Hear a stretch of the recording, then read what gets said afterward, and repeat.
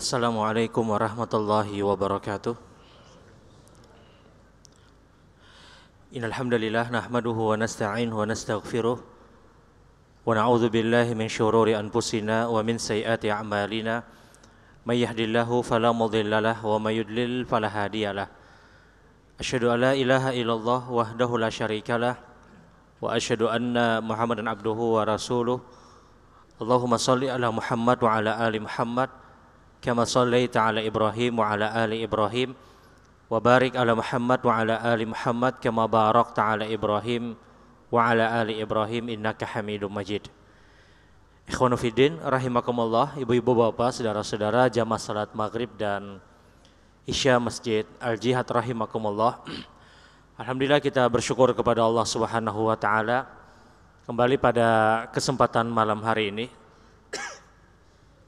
kita kembali bersama dikumpulkan oleh Allah untuk bersama berhadir di dalam salah satu majelis ilmu dalam sebuah kajian agama untuk bersama-sama memahami apa yang ada di dalam Al-Qur'anul Karim, apa yang disebutkan di dalam hadis-hadis Nabi sallallahu alaihi wasallam dan tentunya ini salah satu ibadah yang sangat dicintai oleh Allah, ibadah yang sangat banyak mendatangkan manfaat dan fadilah karena hadirnya seseorang pada kajian agama tentunya mencatatkan diri orang tadi dia ingin menjadi orang yang lebih baik. Dia ingin menjadi seorang yang lebih baik daripada yang sebelumnya. Dan di antara keutamaan atau fadilah hadirnya seorang muslim pada sebuah kajian agama disebutkan dalam hadis Nabi wasallam من سلك طريقا يلتمس في علم سهل الله له طريقا إلى الجنة. وإن الملائكة لتضع أجنحته. وإن طالب العلم لا يستغفر من في السماوات ومن في الأرض ولحيتان في جوف من الماء. وإن فضل العالم على العباد كفضل قمر ليلة البدر قمر ليلة القدر على سوائر الكواكب. وإن العلماء ورثة الأنبياء fal anbiya la yarisuna dinar wala dirham walakin yarisul ilma. Faman akhadha akhadha bihadir hafir. Disebutkan dalam hadis Nabi sallallahu alaihi wasallam seseorang yang pergi untuk mencari ilmu agama maka sungguhnya dia akan dimudahkan oleh Allah untuk berjalan menuju sorga Allah subhanahu wa ta'ala. Dan orang-orang yang mencari ilmu agama adalah orang-orang yang mereka akan mendapatkan penghormatan dari malaikat-malaikat Allah sayap-sayap malaikat akan ditundukkan untuk mereka kata Rasul Shallallahu Alaihi Wasallam. Dan orang-orang yang menuntut ilmu agama mereka akan mendapatkan doa dari seluruh makhluk Allah yang ada di langit dan yang ada di bumi. Sampai ikan-ikan yang berenang pun mereka berdoa memintakan ampun kepada mereka kata Rasulullah. Dan ketahuilah kata Nabi keutamaan seseorang yang berilmu dibandingkan dengan orang yang beribadah kepada Allah saja tanpa dia berilmu sebagaimana bulan purnama dibandingkan dengan bintang-bintang yang diciptakan oleh Allah Subhanahu wa taala. Jutaan bintang diciptakan oleh Allah, namun yang terlihat adalah bulan purnama yang begitu terang kata Rasulullah. Dan Nabi Shallallahu alaihi wasallam kemudian menyambung hadis beliau, sesungguhnya para ulama adalah pewarisnya para nabi. Dan nabi tidak pernah mewariskan dinar dan dirham akan tetapi mewariskan ilmu agama. Maka barang siapa yang mengambil ilmu agama, dia telah mengambil kebaikan-kebaikan yang sangat-sangat banyak kata Rasul sallallahu alaihi wasallam. Dan ini salah satu keutamaan hadirnya seorang muslim pada sebuah kajian agama selama kajian tadi mengacu kepada Al-Qur'an dan sunnah Nabi sallallahu alaihi wasallam. Ikhwanu rahimakumullah, pada kesempatan malam hari ini sampai kira-kira insya Allah menjelang Isya kita akan bersama dengan beberapa hal atau beberapa permasalahan yang dibahas oleh para ulama berkaitan dengan fiqh salat janazah beberapa perkara yang dianggap penting berkaitan dengan pelaksanaan salat jenazah yang dilakukan oleh seorang muslim.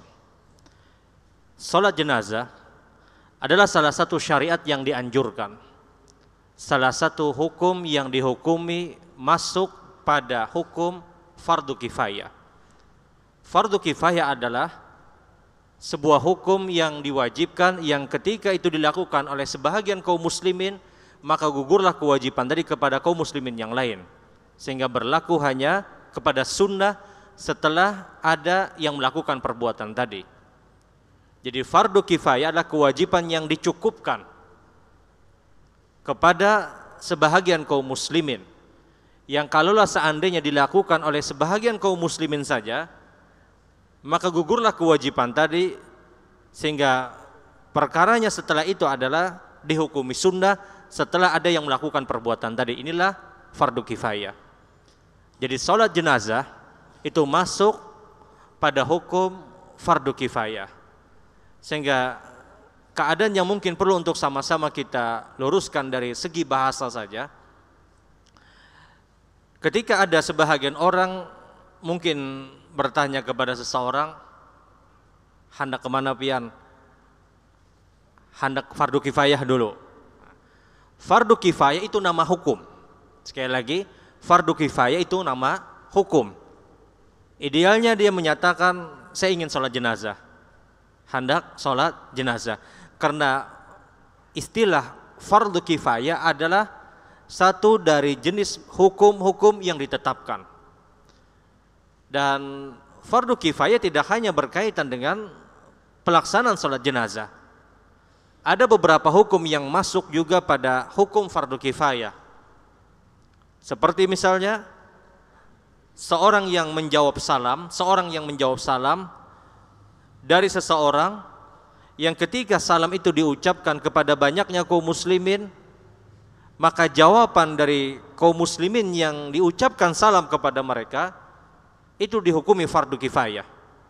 Artinya ketika sebahagian orang menjawab salam tadi, maka gugurlah kewajiban menjawab salam kepada kaum muslimin yang lain.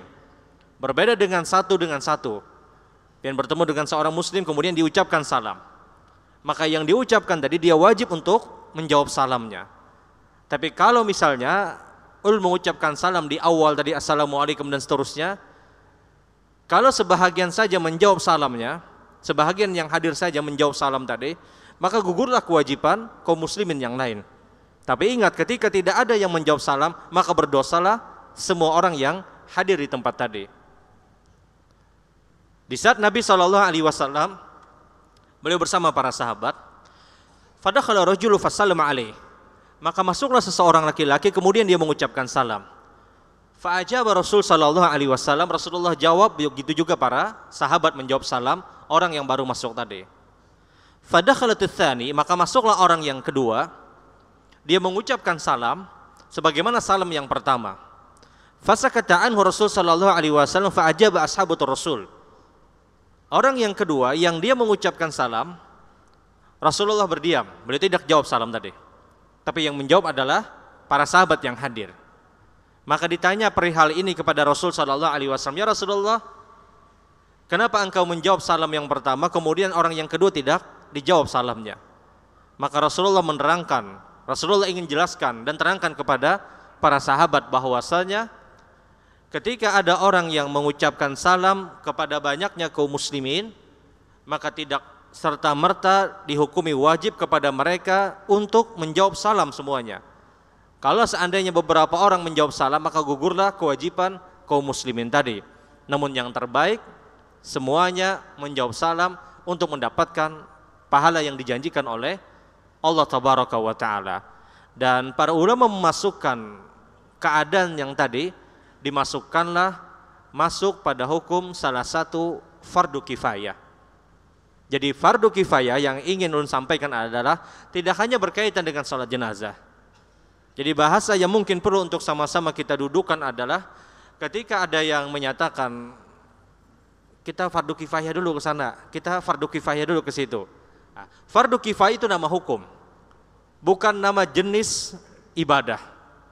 Jadi yang paling ideal dia menyatakan kita laksanakan sholat jenazah. Bukan hanya bukan menyebutkan nama hukum dengan istilah hanya sekedar fardu kifayah. Jadi fardu kifayah itu salah satu hukum dari hukum-hukum yang berlaku di dalam syariat kita. Dan pelaksanaan salat jenazah itu masuk pada hukum fardu kifayah. Maka keutamaan orang-orang yang melaksanakan salat jenazah sebagaimana yang disebutkan dalam hadis-hadis sahih Di antaranya Rasul Shallallahu Alaihi Wasallam menyatakan man syahida ala jenazah barang siapa yang melaksanakan sholat jenazah dia sholat untuk melaksanakan sholat jenazah falahul qirat dia mendapatkan pahala satu qirat. Waman syahida dan barang siapa yang melaksanakan sholat jenazah hatta yudfin sampai dia ikut menguburkan jenazah tadi falahul qiratan dia mendapatkan pahala dua qirat. Rasul Shallallahu Alaihi Wasallam ditanya, ya Rasulullah apa itu qirat? Nabi Shallallahu Alaihi Wasallam menyatakan, mislu jabalaini azimaini wa adnahal mislu jabalil Uhud. Yang dimaksud dengan khirat kata Rasulullah adalah dua khirat yang dimaksud adalah seperti dua gunung yang sangat besar. Paling kecilnya kata Rasulullah seperti gunung Uhud. Jadi seorang yang melaksanakan sholat jenazah dia mendapatkan pahala seperti besarnya dan beratnya seperti gunung Uhud. Dan ini pahala yang besar. Karena ibadah sekecil zarah saja itu diperhitungkan. Ibadah sekecil zarah saja itu dilihat dan bisa terlihat pada mizan pada timbangan Allah Subhanahu wa taala. Dan istilah zarah sebagian ulama menyatakan sebagaimana yang kita tahu di saat orang itu membuka jendela misalnya di waktu pagi, maka masuklah sinar matahari dan debu-debu yang berterbangan yang terlihat di antara sinar matahari tadi, satu debu yang berterbangan tadi itulah zarah, sangat ringan, sangat kecil. Sebagian ulama menyatakan bahwasanya yang namanya zarah adalah semut yang baru lahir. Samut hanya lahir. Itu pun dibagi empat seperempat dari semut yang baru lahir itulah zarah. Dan banyak komentar para ulama apa itu zarah. Intinya adalah perkara yang sangat-sangat kecil, yang sangat-sangat ringan. Maka ibadah sekecil zarah saja itu akan terlihat, akan ditimbang, dan dia akan mendapatkan ganjaran. Maka bagaimana kalau pahala yang dia dapatkan itu seberat gunung Uhud? Dan ini bagian yang terkecil kata Rasulullah. Artinya sholatnya orang tadi untuk melaksanakan sholat jenazah dia mendapatkan pahala seperti gunung Uhud paling tidak kata Rasulullah. Karena Rasulullah menyebutkan misal jabalaini azimain. Seperti dua gunung yang sangat-sangat besar. Wa'adna dan yang paling ringan paling tidak kata Rasulullah seperti gunung Uhud. Gunung Uhud itu panjangnya kurang lebih 7 kilometer lebarnya kurang lebih 3 sampai tiga setengah kilometer, tingginya kurang lebih 300 sampai 350 meter. Ini Gunung Uhud. Beratnya wallahu alam. Dan seorang yang mendapatkan sholat jenazah, dia dijanjikan pahala seperti mendapatkan pahala sebesar dan seberat Gunung Uhud. Dan ingat sekali lagi ini paling tidak, paling kecil kata Rasul Shallallahu Alaihi Wasallam. Dan inilah satu ibadah yang ringan untuk kita lakukan. Mungkin durasinya hanya mungkin sekitar lima menit, tapi pahala yang dijanjikan itu sangat-sangat besar oleh Allah Subhanahu wa taala. Dan untuk mendapatkan ganjaran tadi tentunya, maka pelaksanaan salat jenazah itu harus benar, harus baik, harus sesuai dengan apa yang dituntun oleh Rasul sallallahu alaihi wa ala alihi wasallam. Permasalahan yang dimunculkan oleh para ulama pertama adalah tentang siapa yang berhak untuk kita sholatkan. Apakah setiap muslim mereka harus disolatkan oleh seluruh kaum muslimin? Ulama bersepakat bahwasanya selama dia bersyahadat, selama dia meninggal dalam keadaan beriman kepada Allah, dia tidak melakukan perbuatan-perbuatan syirik. Dia tidak keluar dari akidah seorang muslim, maka dia berhak untuk disolatkan oleh kaum muslimin. Jadi selama dia tidak keluar dari akidah seorang muslim, selama dia bukan pelaku syirik yang nyata, pelaku syirik yang nyata yang dimaksud adalah dengan serta merta secara jelas dia menyatakan saya percaya ini, saya percaya itu. Yang kepercayaan dia menggugurkan akidah dia, maka model orang yang seperti ini tidak berhak untuk disolatkan. Tapi ketika hanya qila hanya katanya, katanya dia seperti ini, katanya dia seperti ini, ini tidak dianggap di dalam Islam. Jadi ketika dia menyatakan, saya adalah orang yang percaya ini, percaya itu, yang kepercayaan dia menjadikan keluarnya dia dari seorang muslim, keluarnya dia dari Islam, iqamatul hujjah sudah diselesaikan. Sudah disampaikan pendalilan-pendalilan bahwasanya kepercayaan dia adalah kepercayaan yang menyimpang, kemudian dia masih bertahan dengan keyakinan dia dan meninggallah orang ini dalam keadaan yang demikian, maka mohon maaf para ulama bersepakat orang yang seperti ini tidak berhak untuk mendapatkan tempat disolatkan oleh kaum muslimin. Tapi ketika dia masih seorang muslim, dia orang yang beriman kepada Allah, pelaku maksiat, kemaksiatan apa pun yang dia lakukan, maka dia tetap berhak untuk disolatkan, kecuali kata para ulama. Pelaku dosa besar, maka orang-orang yang mungkin punya kedudukan di tempat tadi, dia tidak perlu untuk mensolatkan. Yang mensolatkan hanya sebahagian atau mungkin kerabatnya atau kaum muslimin secara umum. Pelaku dosa besar seperti dia mati dalam keadaan bunuh diri. Dia meninggal dalam keadaan bunuh diri. Seorang yang mencuri, seorang yang merampok, setelah mencuri, setelah merampok, ternyata diketahui oleh masa dan ternyata dipukuli, dikeroyok sampai dia mati. Ini pelaku dosa besar. Pencuri, perampok, kemudian juga seorang pembunuh yang dia mati ketika telah membunuh.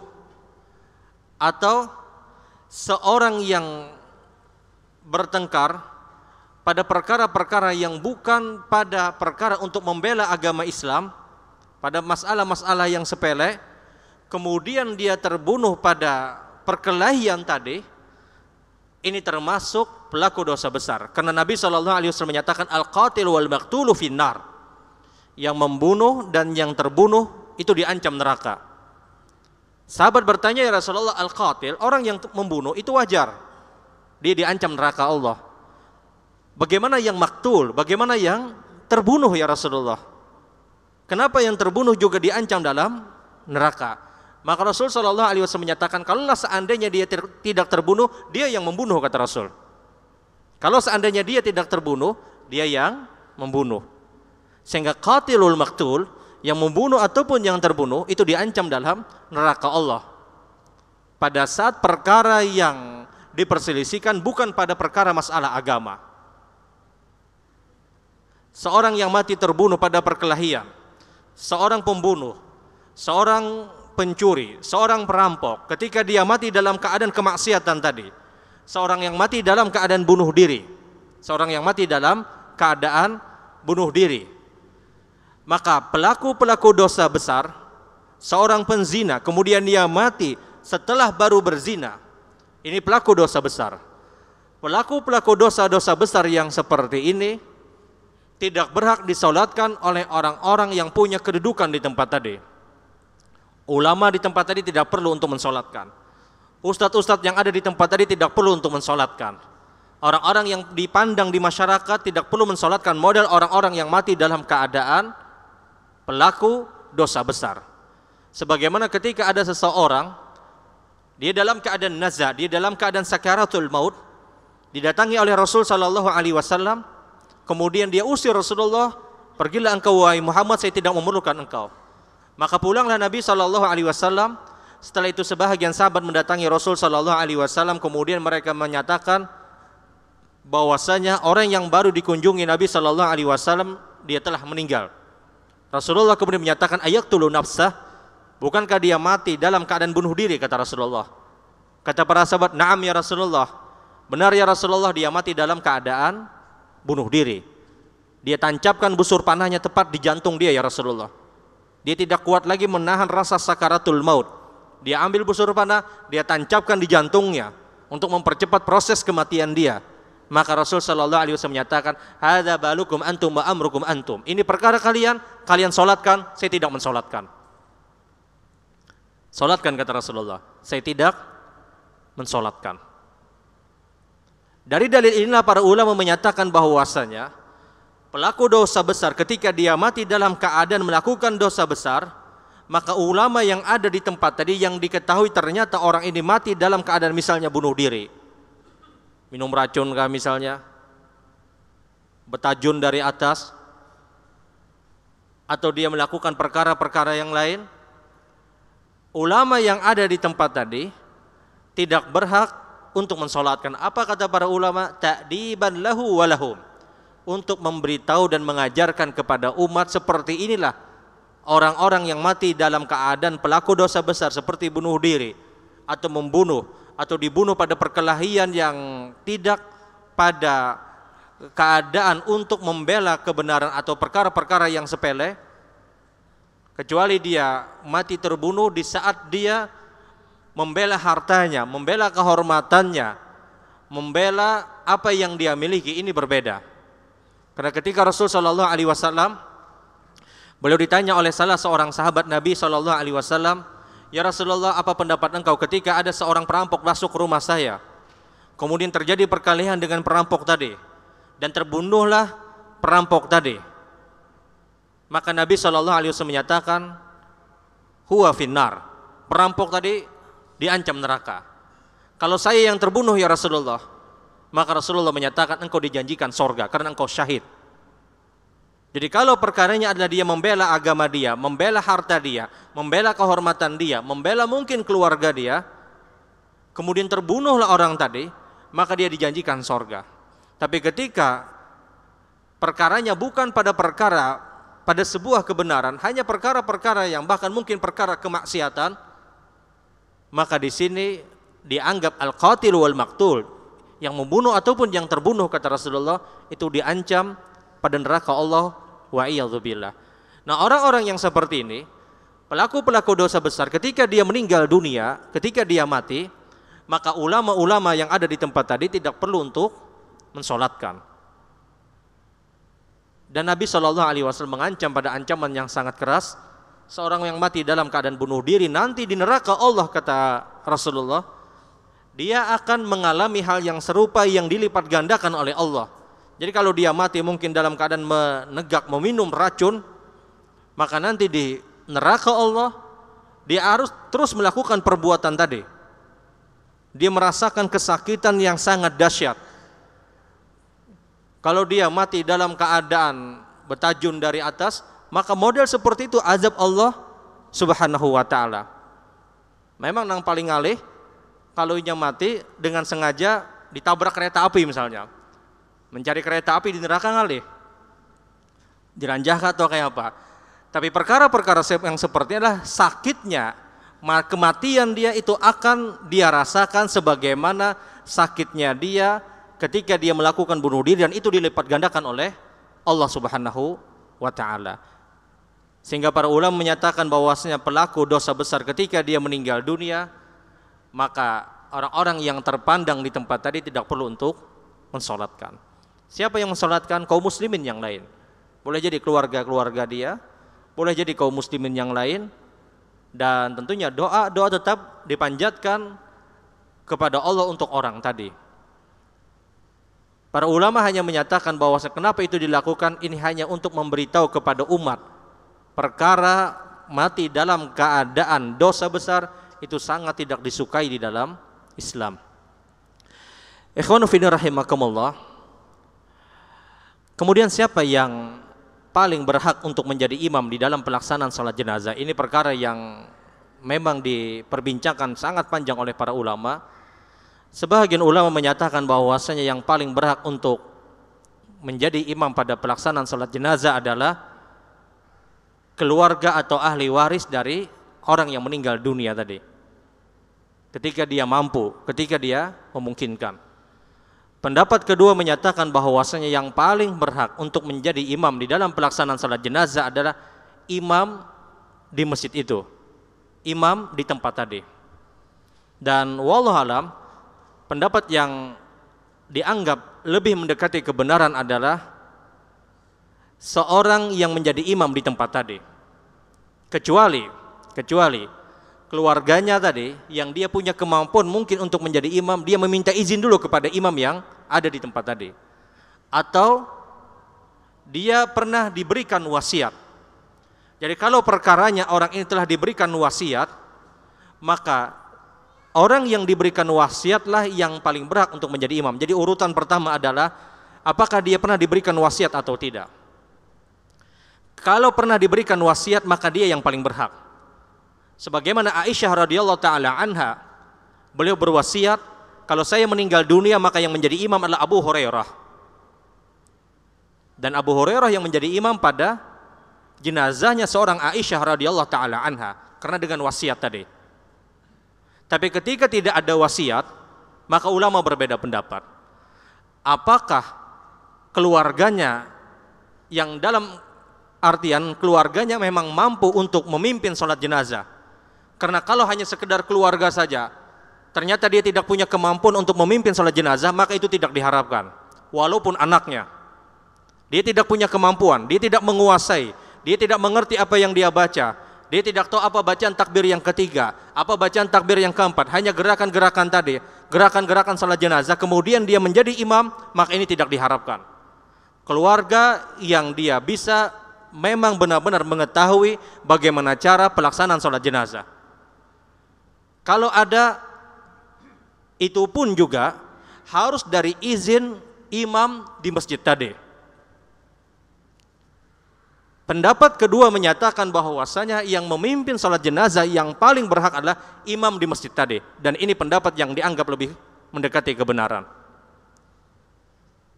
Sebagaimana hadis Nabi Shallallahu alaihi wasallam, "Wala rajulu" Janganlah seseorang itu menjadi imam dari satu kelompok kecuali atas izin dari imam yang berhak. Ada penyelenggaraan salat jenazah, kemudian ada imam di tempat tadi. Tahu-tahu ada orang lain yang langsung menjadi imam, ini tidak berhak. Dianggap tidak beradab orang ini. Kalau seandainya dia ingin menjadi imam pada pelaksanaan salat jenazah, maka ketentuannya adalah apakah dia memang diizinkan oleh keluarga yang meninggal dunia? Sudah diizinkan. Apakah dia punya kemampuan untuk menjadi imam? Kalau hanya sekedar bermodalkan saya ahli warisnya, sementara dia tidak mampu untuk menjadi imam dan tidak mengetahui detail bacaan salat jenazah, ini tidak diharapkan. Dia harus mengetahui, dia harus benar-benar mengerti. Karena berapa banyak seorang yang hanya bermodalkan keluarga dari orang yang meninggal dunia kemudian menjadi imam, terjadi kekacauan pada pelaksanaan salat jenazah. Tidak mengerti apa yang dibaca, sebelum sholat jenazah membaca misalnya eh, bacaan-bacaan yang tidak dianjurkan, memimpin doa-doa yang tidak dianjurkan. Berapa banyak model orang yang seperti ini? Sehingga dia harus menyerahkan kepada ahlinya. Oleh karena itu kalau kita lihat bagaimana imam-imam di Masjidil Haram, imam-imam di Masjid Nabawi, bukankah setiap saat terjadi, hampir setiap saat terjadi penyelenggaraan salat jenazah. Siapa yang menjadi imam? Imam-imam di masjid sana. Bukan keluarganya, bukan ahli warisnya, karena bersumberkan dari hadis Nabi Shallallahu Alaihi Wasallam walaya umana rojulu rojula bisultani illa biidni janganlah seseorang itu menjadi imam pada satu kelompok pada satu tempat kecuali atas izin dari yang bersangkutan izin dari orang yang biasa menjadi imam jadi urutan pertama apakah diberikan wasiat kalau diberikan wasiat maka ini paling berhak walaupun ada imam di masjid tadi dan ini pun tentunya si pemberi wasiat harus tahu ini pantas bisa atau tidak menjadi imam. Kalau tidak diberikan wasiat, maka ulama berbeda pendapat. Ada pendapat yang menyatakan keluarganya boleh dengan syarat, syaratnya mutlak. Dia harus mengetahui benar-benar secara detail bagaimana pelaksanaan sholat jenazah. Kalau ternyata persyaratan tidak didapatkan, maka dia tidak berhak. Pendapat kedua menyatakan, yang paling berhak adalah imam di masjid tadi. Sebagaimana hadis Nabi Shallallahu Wasallam tadi. Kalaulah seandainya ada yang mengikuti pendapat keluarga tadi yang menjadi imam, dia pun juga harus meminta izin kepada imam yang ada di tempat tadi untuk menghormati imam tadi. Jadi jangan asal jadi imam. Jangan asal menjadi imam. Karena berat ketentuannya untuk menjadi imam tadi. Jadi inilah khilaf para ulama siapa yang paling berhak untuk menjadi imam pada pelaksanaan sholat jenazah. Eh, terkadang mohon maaf ada dari sebahagian kita asal tunjuk aja siapa ahli warisnya, akhirnya jadi imam. Padahal kita tidak tahu bagaimana kadar kemampuan dia untuk menjadi imam. Mana keluarganya, keluarganya jadi imam. Kita tidak tahu bagaimana keluarganya tadi memimpin pelaksanaan sholat jenazah. Benar atau tidak, sesuai dengan sunnah atau tidak. Karena ingat perkaranya adalah ini pahala seperti gunung Uhud. Perkara yang sangat-sangat besar mendatangkan pahala di sisi Allah Subhanahu wa taala. Dan sekali lagi Allah pendapat yang dianggap cukup mendekati kebenaran adalah imam di masjid tadi kecuali ya wasiat-wasiat yang muncul tadi atau toh kalau seandainya tetap mengambil pendapat keluarganya ini pun dengan dipersyaratkan mampu atau tidak benar-benar bisa atau tidak setelah orang ini dianggap mampu dan bisa dia pun harus izin dulu kepada imam yang ada di tempat tadi uh, kemudian perkara yang selanjutnya Sauf pada pelaksanaan sholat jenazah. Sauf pada pelaksanaan sholat jenazah. Disebutkan dalam hadis Nabi Shallallahu Alaihi Wasallam, Rasul Shallallahu Alaihi Wasallam menyatakan, barang siapa yang membuat tiga sauf pada pelaksanaan sholat jenazah, lakat fakat syufi. Maka sungguh kata Rasulullah, tiga sauf yang dibikin kaum muslimin untuk melaksanakan sholat jenazah menjadikan doa doa orang-orang yang melaksanakan sholat jenazah itu diijabahi oleh Allah. Jadi kalau doa kita pada pelaksanaan sholat jenazah ingin diijabahi oleh Allah minimal membuat tiga soft minimal. Jadi soft pada pelaksanaan sholat jenazah itu berbeda dengan sholat berjamaah.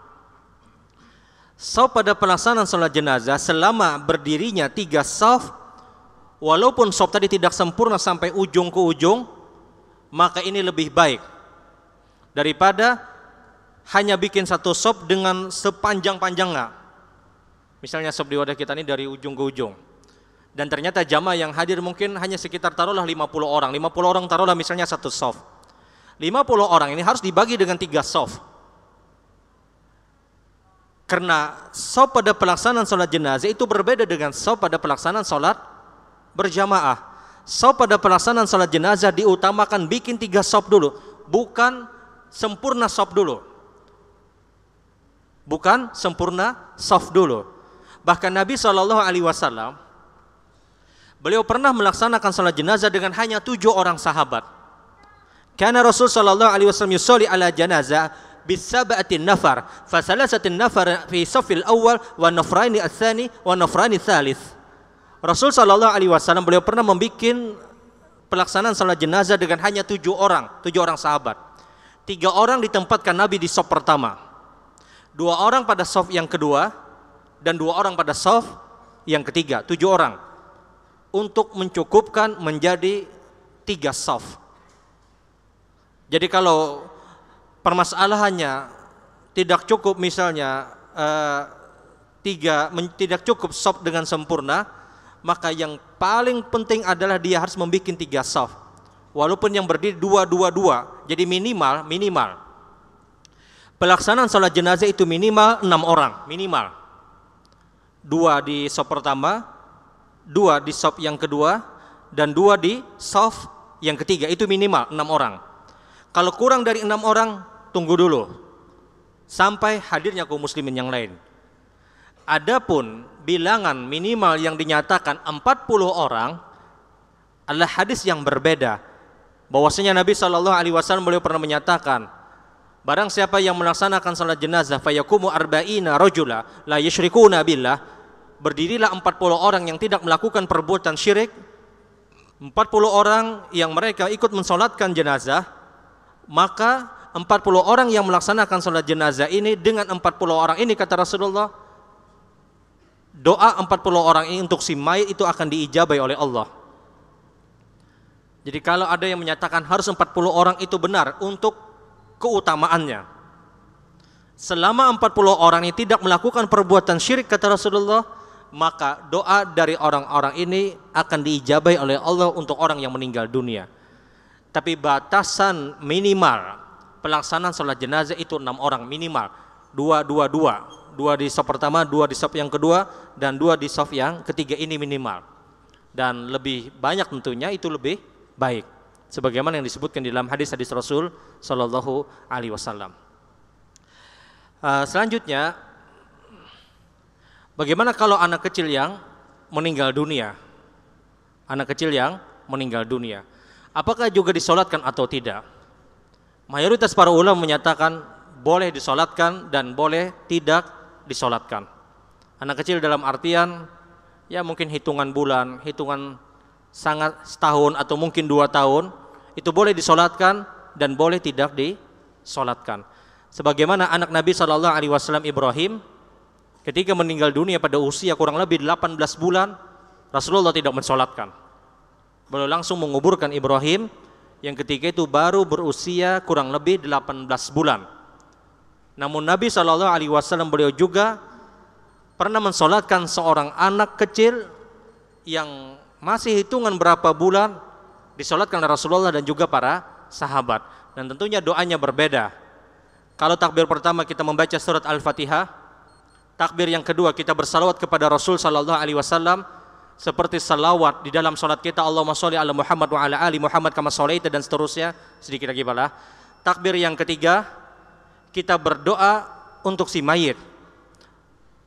Ketika ini jenazah adalah seorang yang sudah akil balik. Kita berdoa di antaranya dengan doa Allah maghfir lahu warhamhu wa'afi wa'fu anhu wa akrim nuzulahu wa wasi madkhalahu uh, Kemudian memasukkan doa misalnya waqsil bil ma'i wasal wal bar wa naqi min khataaya kama yunaqqas thawbul abyad min ad-dans wa abdilhu daran khairu min dari zaujan khairu min zauji ahlan khairu min ahli uh, wa adkhilul jannah wa naqi min adzabil qabri wa min adzabin nar. Ini di antara doa yang disebutkan. Takbir yang keempat, maka doanya umum untuk kita dan juga untuk kaum muslimin. Dia bisa memasukkan misalnya Allahumma la tuharim ujurana ba'da wa la taftinna ba'da atau dia juga bisa memasukkan Allah maghfir lana li wa maitin wa syahidin wa dan seterusnya. Umum di takbir yang keempat. Mendoakan kita dan mendoakan diri kita dan mendoakan si mayit. Takbir yang ketiga fokus untuk mendoakan jenazah orang yang meninggal dunia. Kalau kita tidak menguasai dan ini banyak mohon maaf. Kalau minta waktu 1 2 menit lagi, tanggung. Kalau kita tidak menguasai takbir yang ketiga dan ini sangat-sangat banyak Orang hanya hafal Al-Fatihah. Takbir yang kedua dia hanya hafal salawat. Takbir ketiga dia bingung. Kada membaca apa-apa. Atau kisah membaca, bergarak-garak muntung padahal kada membaca. Maka apa yang dilakukan? Yang dilakukan paling tidak dia membaca Allah maghfir lahu, Allah marhamhu. Itu terus diulang. Ampuni dia, rahmati dia, ampuni dia, rahmati dia sampai imam takbir Allahu Akbar. Daripada berdiam, daripada perai, daripada bergara-gara muntung dibaca kada maka paling tidak dia memasukkan Allah maghfirlahu Allah marhamhu. Kalau dia tidak menguasai dengan doa yang panjang dengan doa Allah maghfirlahu warhamhu wa'afi wa'fu anhu wa'akrim nuzulahu wa wasi madkhalahu Kemudian waksil bimai wasal jiwal bar wa naqi min khataya kama yunaqu thawbul abyad min ad-dans wa abdilu daran khairu min dari zaujan khairu min zauji alan khairu min ahli. Kemudian wa adkhil jannah wa naqi min adabil qurbi min adabin nar. Allah maghfir lana li hayyidin wa maitin wa syahidin wa ghaiban wa saghirana wa kabirana banyak macam doa. Kalau dia tidak menguasai dengan doa-doa yang panjang tadi paling tidak dia memasukkan Allah maghfirah Allah marhamu itu aja diulang. Kalau nang bebinian Allah maghfir laha warhamha diulang-ulang terus sampai takbir Allahu Akbar. Dan ini pendapat yang lebih kuat. Karena inti dari sholat jenazah adalah dia mendoakan agar si mayit mendapatkan ampunan dan mendapatkan rahmat. Inti dari doa doa sholat jenazah adalah agar si mayit mendapatkan ampunan dan mendapatkan rahmat. Kemudian dia takbir keempat, Allah Akbar. Kalau dia juga tidak menguasai takbir keempat apa yang dia baca, dia baca dengan lafaz umum, Allah maghfir lana, Allah marhamna. Jadi dia hanya memainkan domir, memainkan kata ganti. Allah maghfir lahu, kalau takbir keempat, Allah maghfir lana, Allah marhamna. Ya Allah ampuni kami, ya Allah rahmati kami. Itu aja diulang sampai imam mengucapkan salam. Adapun kalau anak kecil yang meninggal dunia pada takbir yang ketiga, maka dia tidak membaca Allah maghfir lahu tadi. Yang dia doakan untuk orang tuanya, dia bisa mendoakan misalnya kepada kedua orang tuanya, Allahumma ja'al li walidayhi faratan uh, wa ajran wa syafi'an wa mujabah. Ya Allah, mudah-mudahan orang tuanya mendapatkan pahala dari meninggalnya anak ini dan ini mudah-mudahan menjadikan simpanan pahala dia di akhirat dan mudah-mudahan sebagai penolong dia di akhirat dan jawablah doa kami ini ya Allah. Karena anak kecil tidak perlu didoakan Allah makfirlah, dia sudah mendapatkan ampunan. Dia meninggal dalam keadaan fitrah subhanakallah wa bihamdika asyhadu an la ilaha illa anta astaghfiruka wa atubu ilaik. Assalamualaikum warahmatullahi wabarakatuh.